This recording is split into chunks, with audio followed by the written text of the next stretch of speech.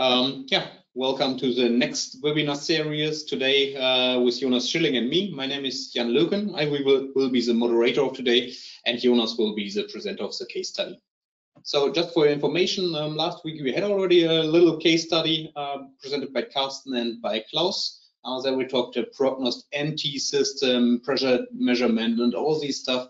Today we are here with Jonas and we'll talk about predictor monitoring system. Predictor means, hey, we're talking about a gearbox monitoring system. So that's that's not the same like prognost NT um, because the predictor system is really focused on gearbox monitoring system.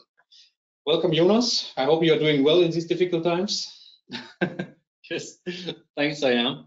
Um, welcome uh, to all all, all of you uh, out there as well. Um, thanks for the introduction, Jan.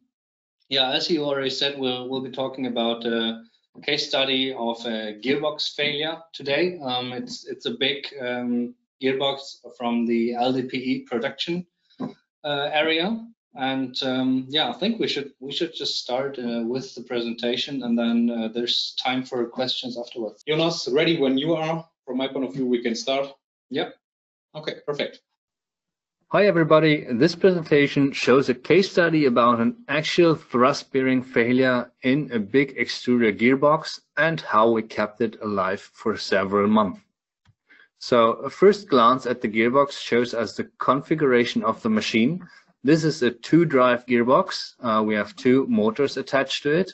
It has a big planetary stage and two output shafts for the extruder screws.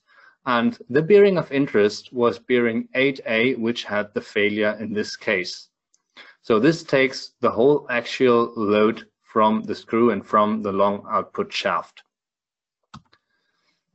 Looking at the section drawing of the gearbox, we can see the monitoring equipment that we used. Um, in this case, sensor 6 is an axial sensor attached to the gearbox housing very, very close to this axial bearing and dedicated to this bearing. So using this sensor and uh, our high frequency enveloping filtering option from 5 to 10 kilohertz, um, was already showing us the first indications of this failure by end of May in 2020.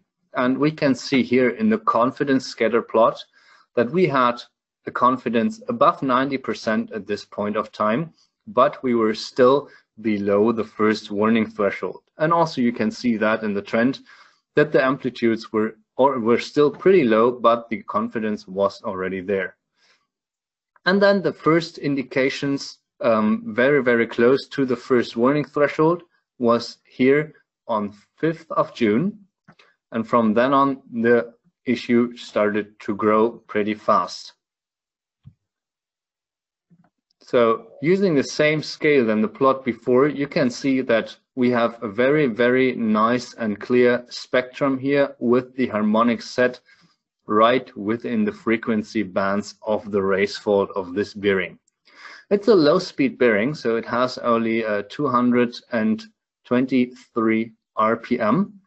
And you can see that when the first crack was rising, the amplitude was, re was really, really fast rising. So in here. And um, we saw that all the warning thresholds um, were violated. We are in the red area, so third warning violated, an alarm goes on in the operator room, and um, the customer directly reacted with a load reduction of this gearbox. So he took load from the gearbox, um, which then caused very, very nice decrease of the amplitudes here.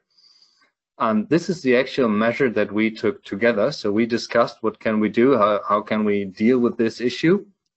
Uh, load reduction was the first um, thing that we did. And you can see that this allowed us stabilizing the amplitude and keeping the failure in um, the same condition for a while.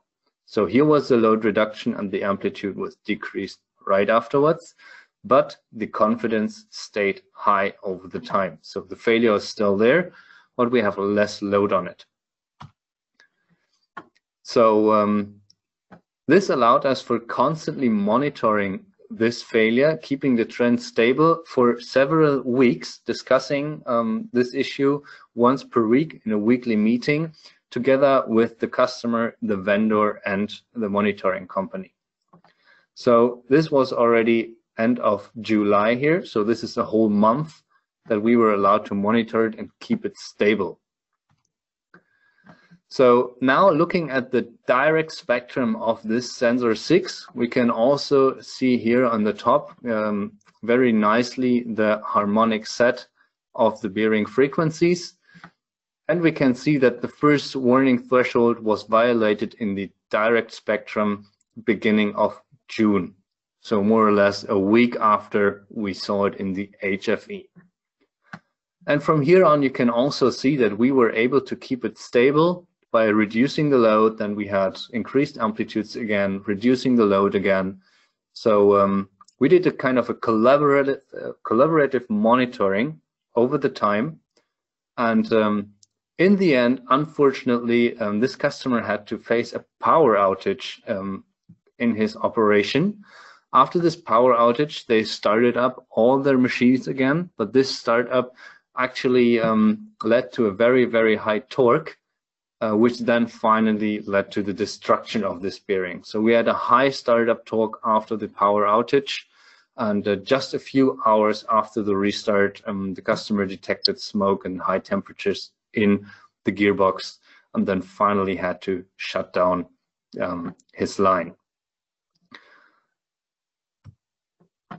So um, looking at the pictures from the overall, um, the customer was so nice to provide us some pictures of this. Uh, we can see that this bearing race was completely broken and they were able to take out complete pieces of this race um, from this bearing and also some other bigger parts that were completely broken out. Um, also, we had some secondary damages on this gearbox. Um, so not only this axial bearing 8A was damaged, but also uh, we in the end had a radial uh, bearing issue. Then the shaft showed some damage. The thrust bearing itself, as already discussed. The bearing seating, the seals, and also the screw that is attached to this shaft uh, were showing some damages in the end due to this um, very last high torque operation. So as a summary, um, we had a very, very nice collaboration here together with the customer and the vendor, uh, discussing every week what to do and what the actual status is. The rising amplitudes were um, frequently discussed and we could react very nice all together. This allowed us a lifetime prolongation until the spare parts and the staff were in place, um, even during this pandemic uh, situation. So this was uh, in summer 2020. It was very hard to get spare parts and also staff on site.